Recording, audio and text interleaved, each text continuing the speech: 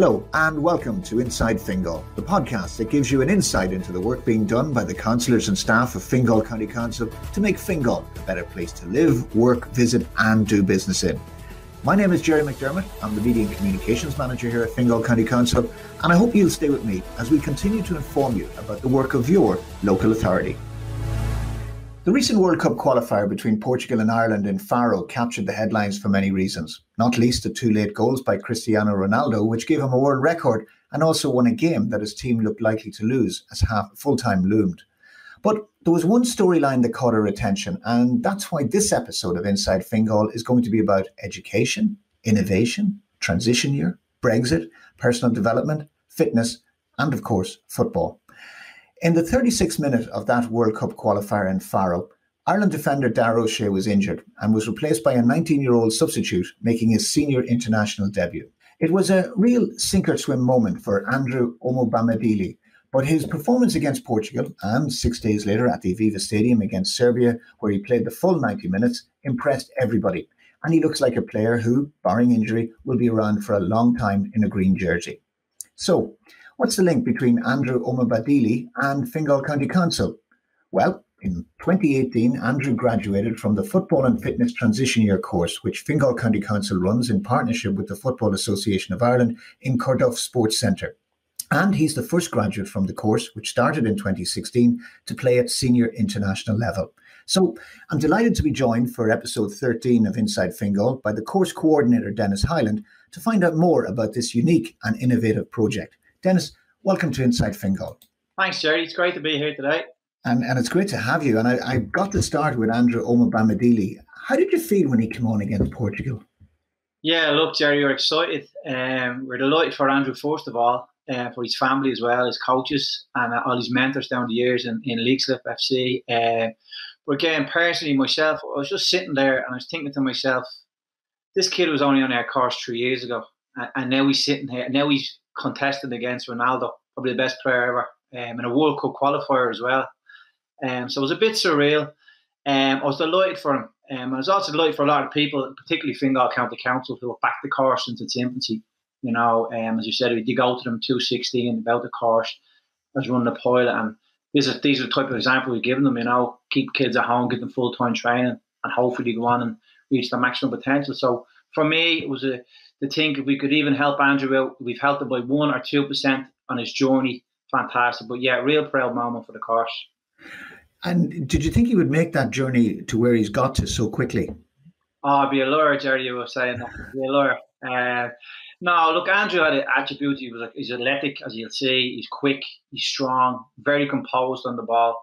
So, when, so when Andrew came in in 2017, um, he was a real late developer as well at the time, so we hadn't been capped at underage international level.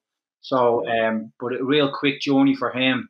At the end of the year, Colin O'Brien brought him into the under 17s for the European Championships, uh, which is unheard of that he went to the 19s then with Tom Mohan the same year, um, as Tom had some dropouts. So it's a real, real quick journey for him, and um, really developed over the year for himself. And uh, I think for me, the big thing for Andrew was when he went away to full time training the advantage he had of being spending a year with us really kicked in for him, and he really come on leaps and bounds, you know. And to think Andrew was only in the 21 squad, he's forced on the 21 squad in March. To see him in the Aviva even last night playing against Serbia was unbelievable, you know. So to answer your question, the answer is no. Would I see Andrew going on a quick journey like that? But I think anyone in football will tell you very, very difficult to predict where kids are going to go. You know, they all have good potential, and that's what we give them the opportunity on the course for. Well, we'll we'll talk about Andrew and some of the other talent that has graduated from the course later in the program. But can you tell me, Denis, how the idea for this course came about? Because it is very unique. Yeah, Charlie. Um, previous to this course, as you're speaking about earlier on, we used to run Project Futsal. Uh, I remember talking about Stephanie Roche earlier on. We'd run a course for between 18 to 7 year olds, and we covered education, FETAC level five, and uh, again collaborating that with with some stuff on the pitch, you know, football and coaching. So from that, we just felt there wasn't a real need for the course anymore um, as we come out of recession. And we just, myself and my colleague Martin Doyle, um, went to our boss at the, in the FAI at the time, which was Jerry Reardon, um, and Marion Brown and Fingal, with a proposal. And then we went to Paul Reid, who was the CEO of Fingal County Council, who's now at the HSE, And we just went with the idea. We've seen it in Scotland as well, where the performance school, giving the kids the opportunity to experience full time training in their own environment. Um, and again, we just felt that at that particular time, we had kids going away on YTS schemes at 16 years of age for, for 60 quid a week and coming back two years later and saying, surely we can provide an opportunity for this for these kids. And as I say, 216, we were delighted to get the go ahead from, as I say, Marion Brown, Jerry, and, and Paul uh, Reid at the time. And I say, the course has gone from strength to strength, you know, really has. Yeah, it certainly has. And and tell me, what are you trying to achieve on the course? Like, how do you judge success? Well, again, the, the, main thing for us to give that player the opportunity to experience uh, full time football. So live the life of a footballer for a year, um, and combine it with education. You know, so for us to show them what what we can give them and on their own doorstep rather than having to go to England. So Andrew would be a great example of a kid who kicked on from the full time training.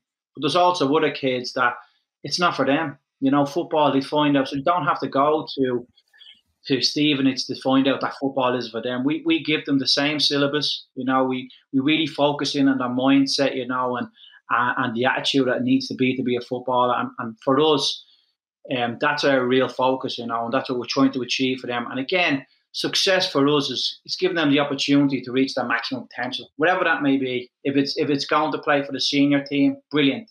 If it's going to UCD on a scholarship, a lot of our students have gone, brilliant and if it's going to work in the gym industry, fantastic. So all we're there is creating that opportunity for the players. And as we always say to them, when you get that opportunity, you need to be ready. So that's what we're there for. So that's success for us. And and how is the course structured? Like, what would a normal week look like? Um, a normal week would be it's it's full time training. So we're on the same academic year as secondary school. So we come in on a Monday morning. Um, we do our strength and conditioning for uh, first thing. Then we go out onto the pitch, we do our reality based training sessions, have our lunch, and then in the afternoon we do our education. So our education would be uh, we, we cover maths, English, ITEC gym instructor, and we also have a range of guest speakers coming in, you know, from from different different areas of the game. You know, only just before we finished with the under 21s international manager and speaking to the players, with Andy Reid in, you know, we had Dara Dara O'Brien or uh, Dara O'Shea, should I say, on just recently as well. So again, a whole range of people coming in and trying to educate the players, you know, what it takes to be a professional footballer, you know. And and obviously the response from the the pupils on on the course is is very positive. Yeah, yeah, absolutely. As I say, for us, it's just about giving them the, as I say, lifelong lessons. You know, whether it be from high performance cooking, you know, that's something they will always have for the rest of their life. Whether it's gym instruction, the principles don't change and giving them an insight into our principles for international football. So again, kids are coming from all different clubs, but we're coming in and trying to marry, uh, try to get them ready if they do get the opportunity to go into international football or go League of Ireland. Our principles of play. So that's really were we're about with the kids, and the response has been phenomenal.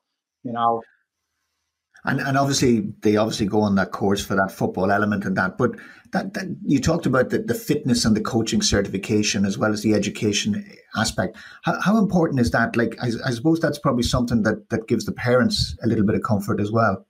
Yeah, definitely, Gerry. As I say, I uh, Little Lane, you know, Little Lane Instruction, they're the only we're the only course of its kind in the country that they cater for for 16 year olds. So, so for example, if, if a kid was to go and do the ITEC gym instruction away from our course. It would cost them 2,200 euro in, in a college at night, and they'd have to be 16 years of age. But they facilitate us because they've worked us since our infancy. And, and, as I say, that alone is fantastic for the kids to have.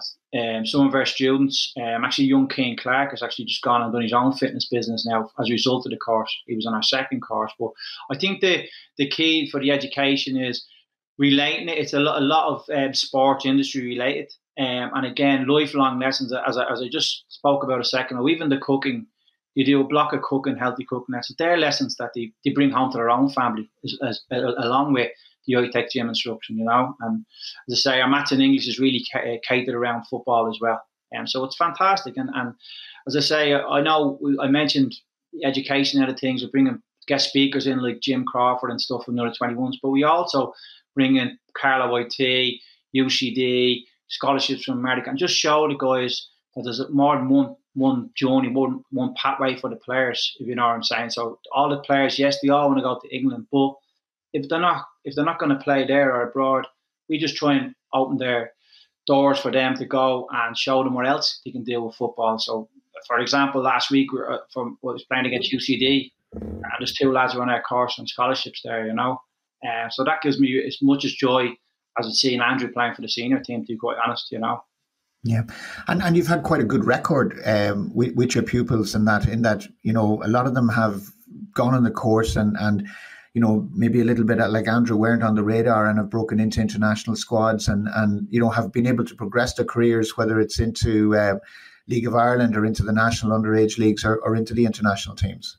Yeah, we've quite a few um, players, and, and even just up to this week, Gerry, just recently, as you know yourself, the September window um, for international football. So I, am involved in the 18s myself. We had three of our pupils um, on that particular trip. Uh, then with the with Paul or Colin O'Brien's under 17s last week, there was seven of last year's students in his squad, which is which is quite a lot. It's nearly 50% of his squad. Um, the under 19s, Tom Mohan was only in Loughborough there last week as well. He had five of our students, and Jim Crawford's just back from a double header, um, and he's had three of our students again. So, and then obviously Andrew's with the senior team. So, as I say, we're five years into the project now, and it, it seems to be going from strength to strength with players going on and playing at the highest level. There's also a lot of our students now playing in the Premier Division and also playing in the Fourth Division and combining their studies with football, which is fantastic, you know. And what sort of feedback are you getting from managers, you know, in, in, in terms of, of, of the players that you are helping to produce? Well, I think particularly it's fantastic for the international managers. You know, I, have a, a big good relationship with all the managers in international football. They come up and they'd, they'd speak to me about a certain player might might to work on a certain aspect of his game, and I think that's the, the fantastic part about the course is we're full time. So the, the, clubs are fantastic. They're training seven or four, four nights a week with the clubs, but it's very difficult to get that extra time in as well for them. Um, so it's great collaboration between us and the clubs. And then the international manager wants them to work on individual stuff. That's where we can really kick in and help the kids. Um, I feel that's for them, it's a real advantage. And, and I feel, again, we spoke about it a lot and, and hopefully it will come to fruition. We're, we're hoping to put a few more of them around the country, you know. And these are all kids in transition years. So, what's the reaction of their schools when they sort of say that they want to go away and, and sort of go on this course for the year rather than do transition year through the school?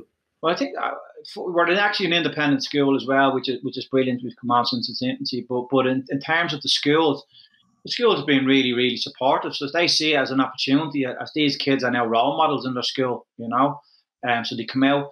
Um, and and one of the feedback we we do get from schools and from parents is that, that how the kids mature over the year. So we give them a lot of responsibility, a lot of autonomy with the kids, and you know, for example, we always encourage the parents not to not to drive them in, make sure they get the transport in, their own public transport in. Just taking out gear, giving them chores, they're giving them responsibilities. Even, for example, on their individual learning plans, we keep telling them we don't go around to see if they're working on their finishing or their defending. We give them an allocated time and we, we just observe. And, and then if they're not doing it, well, that's a mindset thing for them, you know. So we, we go back and we visit with them and we say, look, it's the things they really are doing when people aren't looking that counts rather than when they're looking, you know. So again, they're only 15, 16 years of age. But one thing we certainly get from the feedback from the parents is how mature they come after the end of the year. And you, you mentioned they're giving them responsibility. And one of the things that struck me about it when I was sort of looking at the uh, program is that they go back to their primary schools to uh, to do some coaching. Yeah, it's a huge part of the program, uh, Gerry. Huge part because we see them as role models, and they go into their primary school and they deliver uh, fun sessions from PDP one Coach Education. There's a link to Coach Education on the course as well. We cover the PDP one, PDP two. So they go into the primary schools and um, get the kids involved in football. From we try to target junior infants, senior infants, fourth class, and again try and get that link from them into their local club as well. So there's a real link there, you know. And if you can imagine a kid coming back into primary school who's playing for his international team, you know, it's real sporting for the young kids. So it's a real part of the program, um, huge for for the, for the council and for the FAI to increase participation. So yeah, it's brilliant. I suppose uh, people who are interested in this course uh, are probably asking the one question, and I, am going to ask it now: is how do you get on this course? basically email myself, denis.hyland at fai.ie or Fingal Sports at fingal.ie. Um, so yeah, and again, our application's only open in, in January. Um, and then we take the applications until the end of March. And then from then we have our trial process.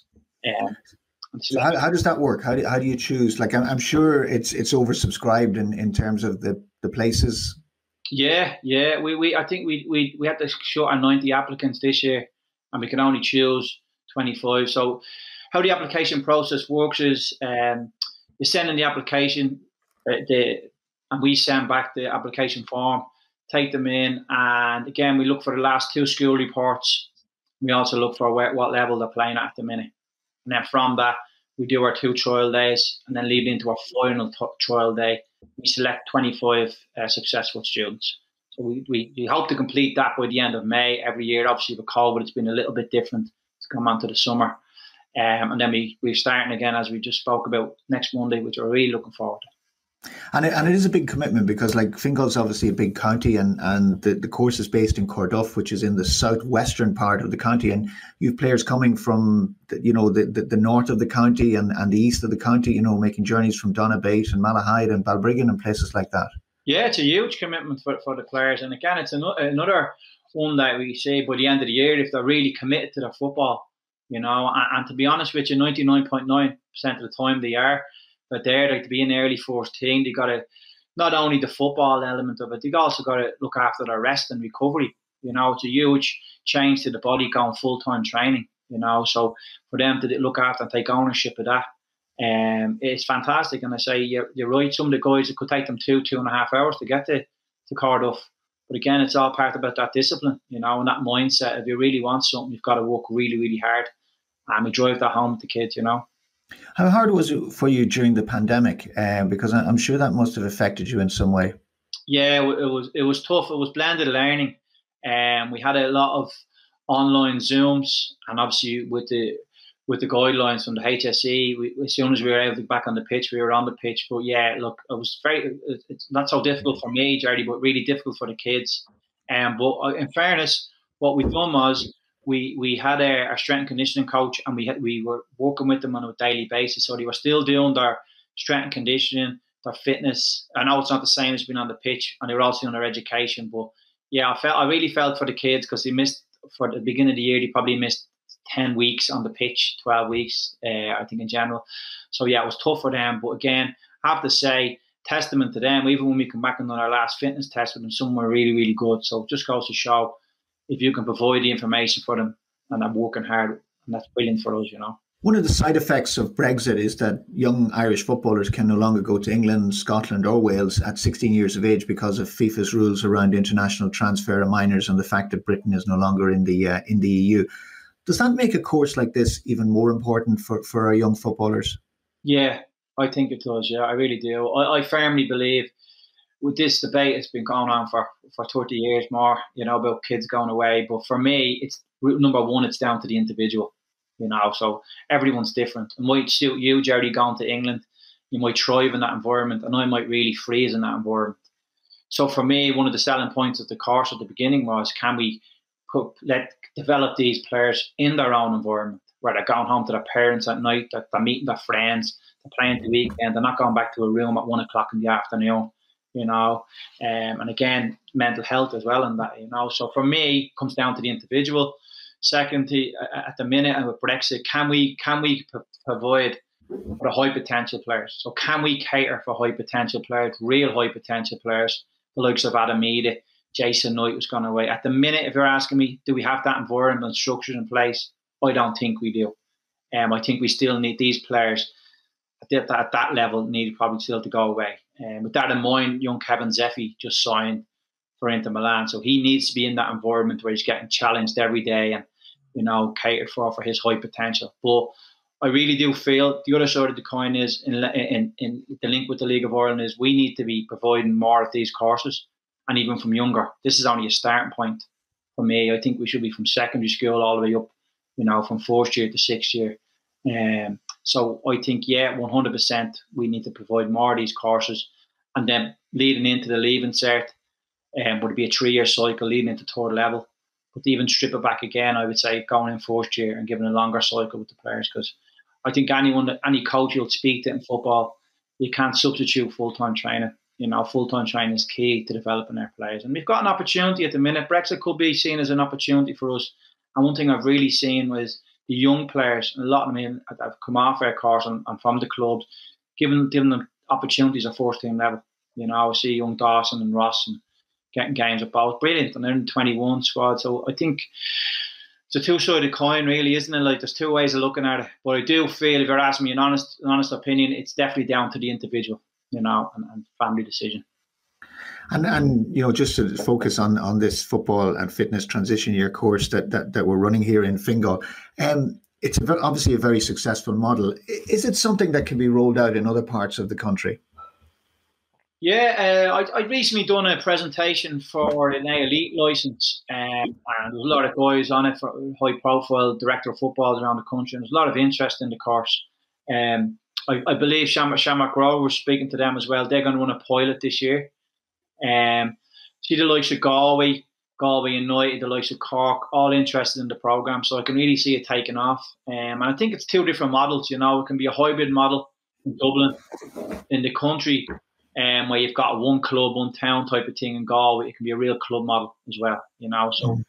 but I don't. I do think it's about you know it's about joint joint up thinking, collaboration between the councils, the FAI, the clubs.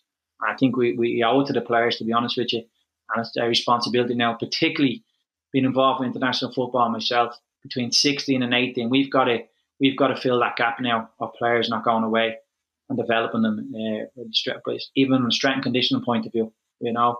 And um, so, along with the clubs, obviously, clubs do fantastic work, but as I keep going back to full time football, for me, in my opinion, is key. Yeah, and, and one thing that struck me about the course is that um, all the participants on it uh, are boys. Um, are there any plans to roll out a similar course for girls? Yes, and as, as I spoke earlier on guy, the, the foot, when I started in the FAI in 2005, there was these big visions of a national league. There was no even national league. Now there's a national league for senior players. There's an underage national league. So the next thing for me has got to be full time courses for full time girls. Um, and I have spoken to our line manager about this, If you and there is there is uh, pilot plans in place, hopefully, for to get something going in 2022, which will be next September. But I do feel there wouldn't be there's not enough demand in Fingal for one standalone. So it's got to be a hybrid model where it's, it's it could be three or four councils coming together uh, and, and put one of these programs on, know, or standalone program. Maybe.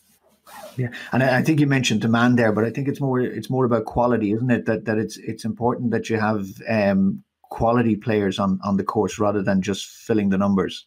Yeah, and quality is key it's key because uh, obviously, as we always go back to that mantra, the, the best playing with the best, you know, we bring out the best type of thing. So, and that's what it needs to be. Um, and, and you find, you know, those talented players, if they're playing with each other every day, the difference is unbelievable. You know, it's unbelievable, and you come on leaps and bounds.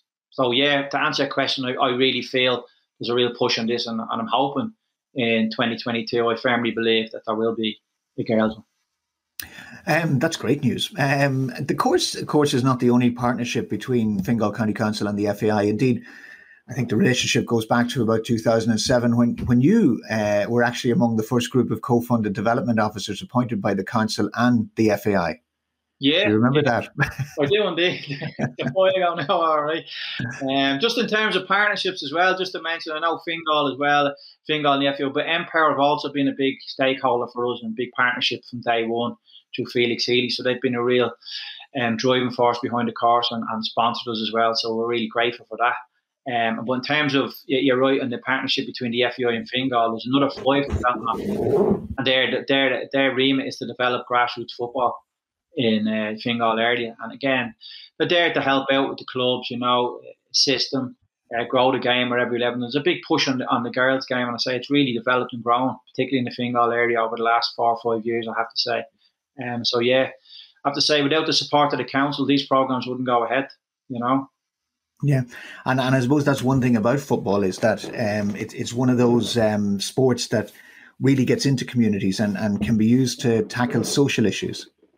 Yeah, absolutely. So again, there's there's numerous programs, and, and again, it's it's it's it's for the grassroots element and, and look at the social element now, particularly everyone sees with, with, with, we're just after going through in the middle of a pandemic, eh, how important it is to socialise, get out, even if it's an hour a day, an hour a week, football for, for kids, you know, integrating with each other, building relationships with each other. So again, the clubs do a lot of that work, but it's fantastic to have uh, development officers there to assist them. And again, through, through coach education as well, you know, educating and developing players as well at that level, because that's where the, all the players start in grassroots football. You know, I mm-hmm. remember listening to John O'Shea recently doing an interview and how proud he spoke about like starting out with Tramore, you know, and I'm sure if he spoke to Andrew Adebami, how proud he'd be the work Leixlip I've done for him. So these volunteers, these people are the ones that really grow the game. You know, you're coming along to us and we're lucky enough to be in a position to work with high quality players, whether it be here or international football, but really grassroots football is the ones that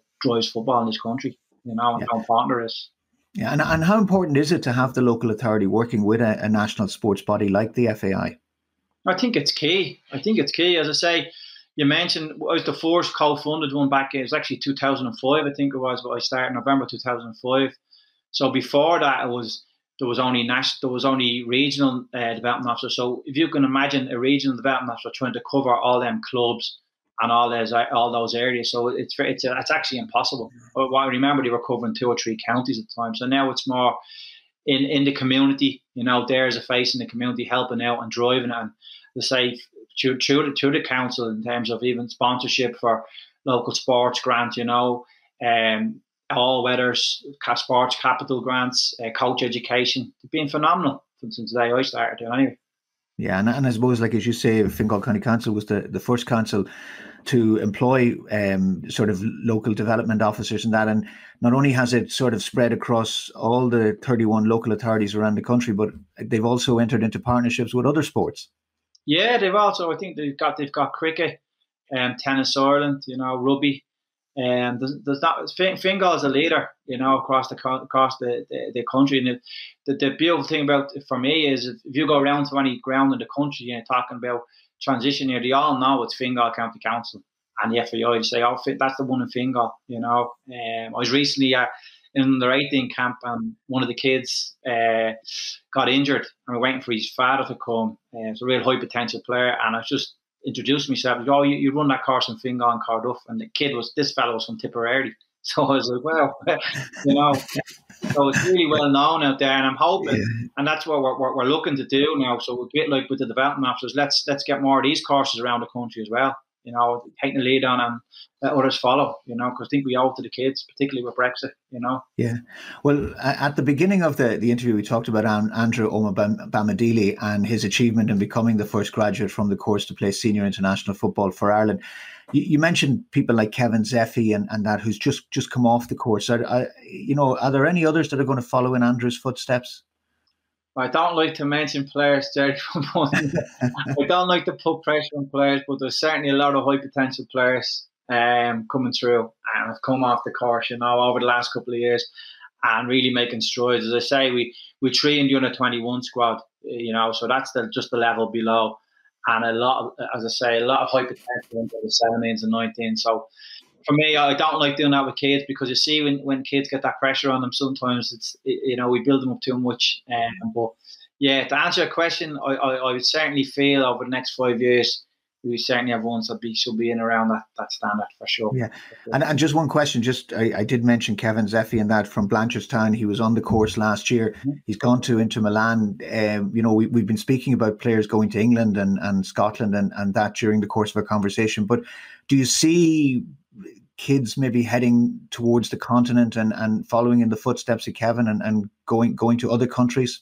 Yeah, I do. I do. I've seen it already. Um, Andrews, or sorry, Kevin, there was another uh, uh, student we had from Blanchardstown, Justin Farigi, and he also went to Roma for, for trials as well this year. So there seems to be an interest from the foreign countries now because they know the market is here and the kids aren't going to England. So to answer your question, yeah, and it could be a fantastic learning experience for some of them as well. But again, as I said earlier on, it goes down to the individual, you know.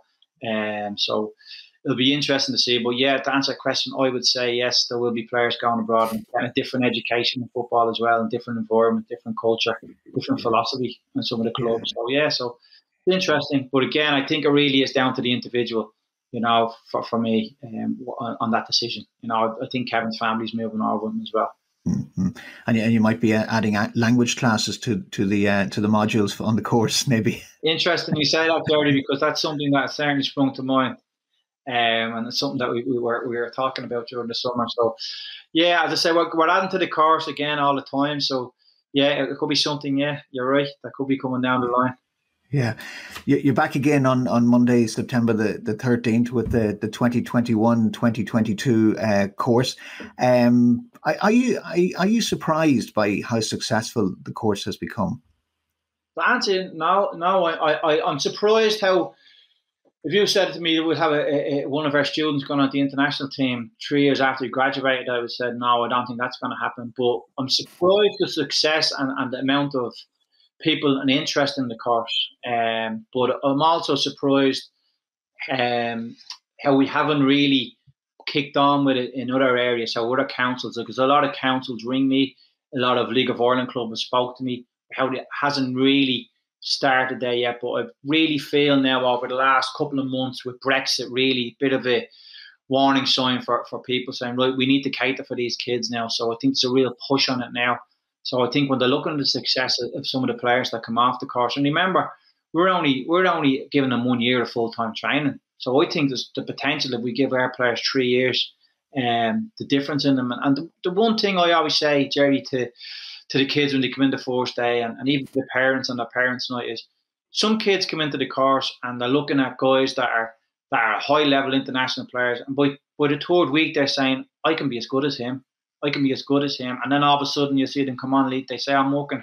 They're the they're the barometer for these kids, and they work so hard to pass them by. And that that's a real joy for me to see that happen. And that's why I think if we have more of these um, courses, you will see more of these players popping out, these nuggets coming out nowhere because they're in their own environment.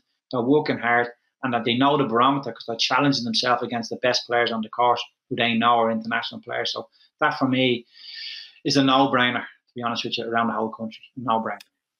Well, that's great, Denis. Um, we're, we're, out of time, but listen, thank you very much indeed for, for talking to us. And uh, you've certainly given us a fascinating insight, not only into the world of football, but also into the, the, the TY football and fitness course that uh, is run by Fingal County Council and the FAI in Corduff Sports Centre. Good luck with your the coming school year uh, and that, and, and good luck with it. And, and hopefully, in, in, in the years to come, you'll continue to produce uh, great um, nuggets and, and great football talent like Andrew Omobamidiele. Thanks, Gerry. Thanks for having me.